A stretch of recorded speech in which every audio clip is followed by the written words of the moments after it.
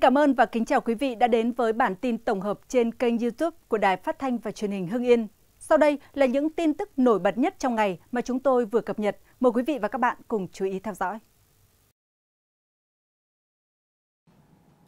Chiều ngày 15 tháng 9, lãnh đạo tỉnh Lào Cai đã đi kiểm tra, nghiên cứu cụ thể, sau đó trao đổi với cùng lãnh đạo huyện Bảo Yên, các chuyên gia có kinh nghiệm và chốt phương án lựa chọn địa điểm xây dựng tái định cư thôn làng nủ mới. Cách thôn làng nủ cũ bị lũ cuốn trôi khoảng 2 km. Đây là khu vực rộng rãi, có địa hình cao, an toàn, thuận lợi bố trí hạ tầng giao thông, điện nước. Sau đó chính quyền địa phương đã lấy ý kiến biểu quyết của người dân thôn làng nủ còn sống sót sau trận lũ và nhận được sự đồng thuận 100%. Ngoài ra khu vực tái định cư còn có thể bố trí cho số dân đang ở vị trí thấp chứ không phải chỉ các hộ dân bị ảnh hưởng bởi trận lũ quét. Những nhà xây mới tại khu tái định cư sẽ xây dựng theo kiến trúc truyền thống của người Tây ở địa phương. Khi xây xong, người dân sẽ được bốc thăm chọn nhà để đảm bảo công bằng và dân chủ. Để có thể hoàn thành trước ngày 31 tháng 12 theo như chỉ đạo của Thủ tướng Chính phủ, Chủ tịch Ủy ban nhân dân tỉnh Lào Cai Trịnh Xuân Trường đề nghị bà con tham gia giúp đỡ công nhân trong quá trình xây dựng để có thể nhanh chóng tái thiết một làng nủ mới đẹp hơn, khang trang hơn làng nủ cũ. Ngày 16 tháng 9, chính quyền địa phương sẽ triển khai máy móc và đo đạc quy hoạch, thống kê đền bù giải phóng mặt bằng, thi công quyết tâm hoàn thành trước 31 tháng 12 năm 2024. Trước đó, theo thông tin từ Ban chỉ đạo tìm kiếm cứu hộ làng nủ, xã Phúc Khánh, huyện Bảo Yên, Lào Cai, đến đầu giờ chiều ngày 15 tháng 9, ghi nhận thêm 18 người được cho là mất tích đã được xác minh còn sống sót. Như vậy, cùng với 11 người trở về trình báo trong các ngày từ 13 đến 14 tháng 9, đến nay đã có 29 người được cho là mất tích, được xác định còn sống. Theo đó, đến thời điểm hiện tại, làng nủ ghi nhận 52 người thiệt mạng, 14 người mất tích, số người an toàn là 87 người.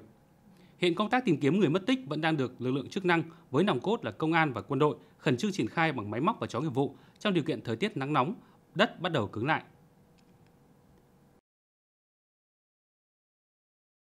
Dự kiến ngày 18 tháng 9, toàn bộ 17 hộ dân ở thôn Kho Vàng, xã Cốc Lầu, huyện Bắc Hà, tỉnh Lào Cai sẽ được di rời tới nơi tạm trú thuộc khu vực trung tâm xã Cốc Lầu. Trước đó do lo ngại về ảnh hưởng từ mưa lũ, 17 hộ dân ở thôn Kho Vàng đã chủ động lên núi để dựng lán, trại để tạm trú. Mặc dù được tiếp tế đầy đủ nhu yếu phẩm, nhưng khu vực này vẫn tiềm ẩn nguy cơ sạt lở.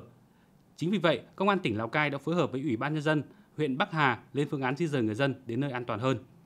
Theo đó, Công an tỉnh Lào Cai đã thành lập hai tổ công tác, một tổ phối hợp với Ủy ban nhân dân huyện Bắc Hà khảo sát địa điểm an toàn để di rời dân.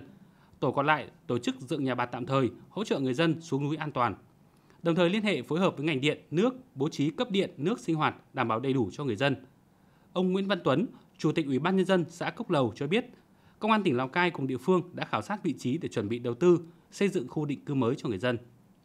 Theo đó, khu định cư mới cách vị trí thôn kho vàng cũ khoảng 5 km, có địa hình bằng phẳng, giao thông thuận lợi. Dự kiến khu vực định cư mới của người dân thôn kho vàng sẽ được hoàn thiện xong trước ngày 31 tháng 12 năm 2024. Phú Thọ đề nghị xây cầu Phong Châu mới với kinh phí 900 tỷ đồng. Ủy ban nhân dân tỉnh Phú Thọ vừa có văn bản gửi Thủ tướng Chính phủ đề nghị Trung ương hỗ trợ công trình xử lý khẩn cấp khắc phục ảnh hưởng cơn bão số 3.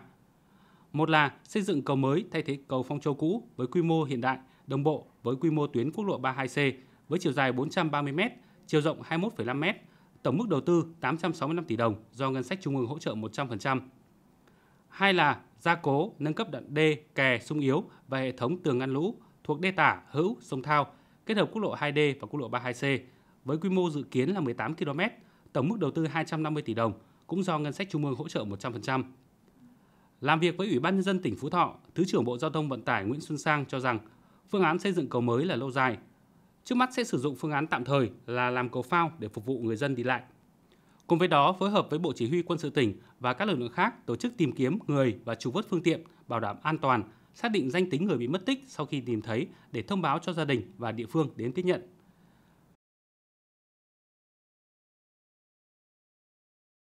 Tuyên Quang khẩn trương lấy mẫu quan trắc môi trường tại huyện Chiêm Hóa khi nước có mùi lạ bất thường.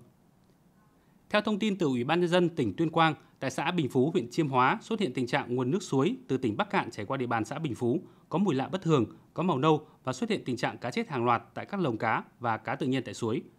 Ngay sau khi nhận được tin báo của người dân,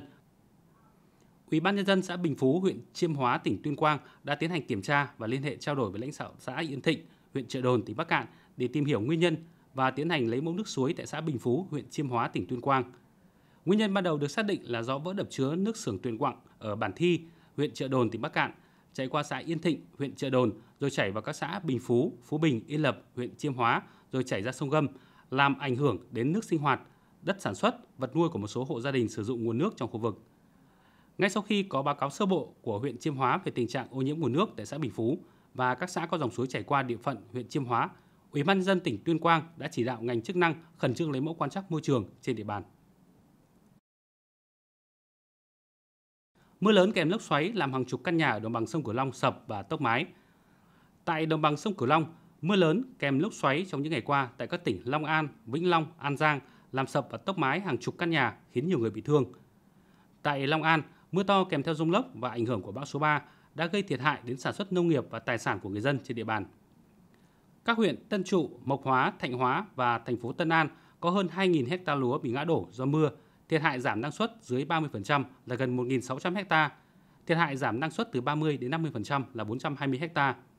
Rông lốc còn làm hai người bị thương, tốc mái hơn 10 căn nhà, ngã đổ cây, trụ đèn trên địa bàn các huyện Tân Thạnh, Tân Hưng, Vĩnh Hưng, thị xã Kiến Tường. Tỉnh Long An ước tính thiệt hại ban đầu khoảng hơn 200 triệu đồng. Còn tại tỉnh Vĩnh Long, mưa lớn kèm theo rông lốc trong những ngày qua đã làm 18 căn nhà ở các huyện Long Hồ, Mang Thít, Tam Bình, Bình Tân, Trà Ôn, thành phố Vĩnh Long và thị xã Bình Minh bị sập và tốc mái. Ngoài ra rông lốc còn ảnh hưởng hai cơ sở xăng dầu và xưởng gỗ, hơn 30 cây xanh bị đổ, nhiều trụ đèn chiếu sáng bị ngã, một người bị thương, ước tính thiệt hại ban đầu khoảng 300 triệu đồng. Tại An Giang, mưa to kèm theo gió xoáy đã làm sập hoàn toàn một căn nhà và làm tốc mái một căn ở ấp Tân Hòa, xã Tân Lợi, thị xã Tịnh Biên, thiệt hại tài sản gần 100 triệu đồng. Sau khi nhận được tin báo, Ban Chỉ huy Phòng chống thiên tai và tìm kiếm cứu nạn các địa phương đã phối hợp với các xã bị ảnh hưởng, tổ chức đoàn đến thăm, động viên và trao tiền hỗ trợ ban đầu cho các gia đình bị thiệt hại do lốc xoáy gây ra.